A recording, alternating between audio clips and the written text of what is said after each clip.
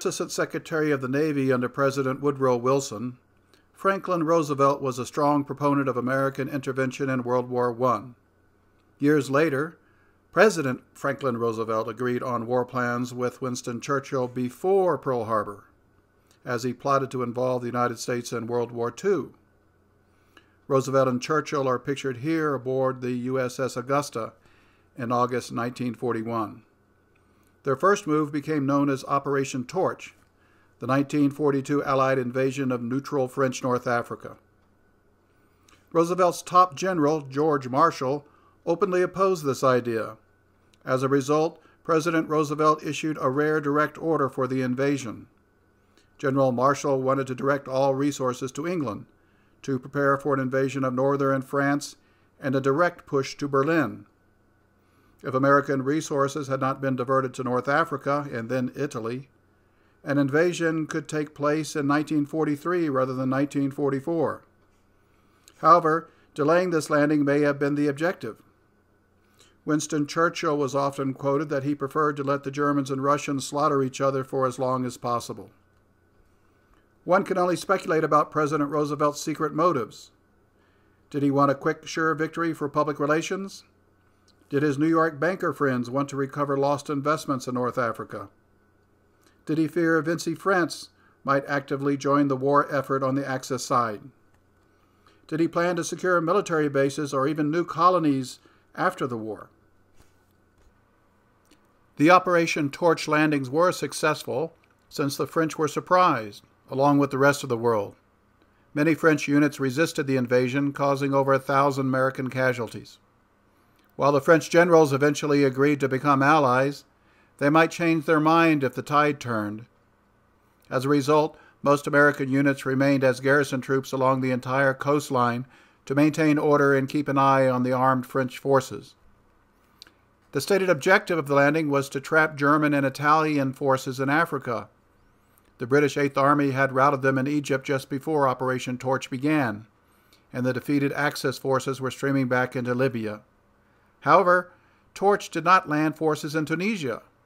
The French general there was uncertain, so chose neutrality and pulled his units into the mountains. As a result, the French abandoned their fortifications facing Libya, known as the Mareth Line, which were built to deter an Axis attack. This was fortunate for the fleeing Axis forces who occupied these fortifications. When the pursuing British forces attacked, they were repelled with many losses.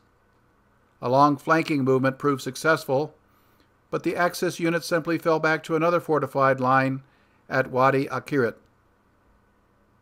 German forces from Libya continued north to the excellent port of Tunis, which was much closer to its supply hub in Italy. Tunisia is mountainous, which provides outstanding defensive positions.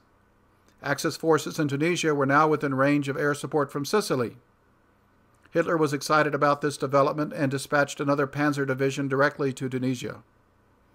Axis aircraft operating from both Tunis and Sicily might be able to close the central Mediterranean to Allied ships. Because of this unexpected development, the Allies attempted to race forces to Tunisia from Algeria. But roads were poor and distances great. Eventually, an ad hoc force of British, American, and Free French forces assembled and attacked the newly arrived German forces in Tunisia. These Allied units were tired and inexperienced, whose only air support came from Malta 200 miles away. The Germans were better equipped, experienced, and had more aircraft based closer to Sicily. The Axis forces repulsed the attack, then counterattacked and routed the Allied forces. This led to the famous battle at Kasserine Pass where the Germans overran American units, destroying hundreds of tanks and causing thousands of casualties. The Allies fled while the Germans rounded up thousands of POWs.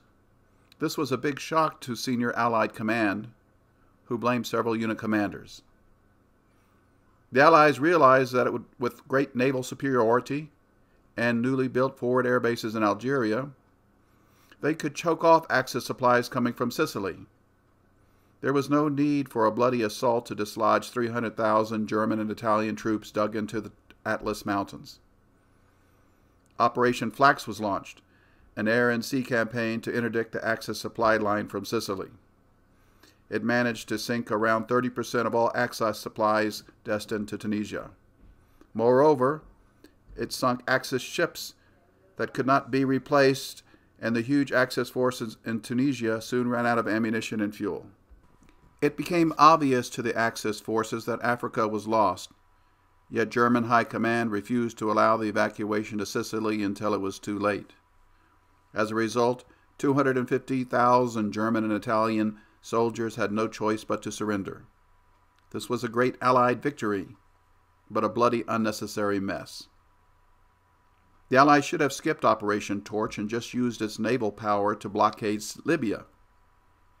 This would have been difficult given the German air power based in Sicily. Therefore, the obvious solution was to invade Sicily in 1942, to take full control of the central Mediterranean and choke off supplies to Axis forces in Africa, as was done in 1943 with Operation Husky. The British Eighth Army suffered 13,650 casualties and lost 500 tanks breaching the German defenses in the Second Battle of El Alamein and then crawling across Libya, only to encounter Axis forces and fortifications in Tunisia. All of this was unnecessary, since much of this British force in Egypt could have landed in Sicily to cut the main supply line for the Axis forces at El Alamein. The American forces that landed in North Africa could have landed directly on Sicily instead. There were fewer Axis forces in Sicily in 1942. By 1943, Axis forces in Sicily included another 60,000 Germans added after Tunis fell, plus 50,000 who were evacuated from Tunis. These forces further fortified the island before Operation Husky. Over 350 Allied warships took part in Operation Torch, plus 500 transports, while the Axis only had 50 in the Mediterranean, mostly submarines.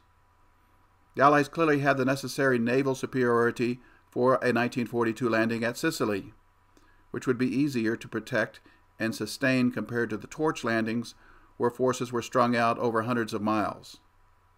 The Allies lost 16 ships in the torch landings, partly because the Germans sent 25 subs from the North Atlantic down to the Casablanca area, where Allied forces were strung out along the beach.